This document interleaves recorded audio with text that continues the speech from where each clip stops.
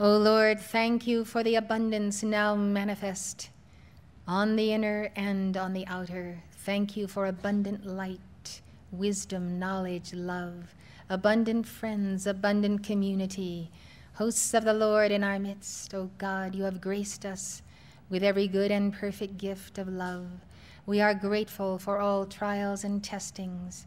We are grateful for all admonishments. We are grateful that we are becoming whole, and in our wholeness we may magnify your flame as Mary did magnify the Lord in the Lord Jesus Christ. O oh God, we are grateful for almighty blessings. We thank you, we thank you, we thank you. So multiply our offering that the knowledge of the path of the ascension through the footsteps of Mother Mary might reach every light bearer in this matter cosmos.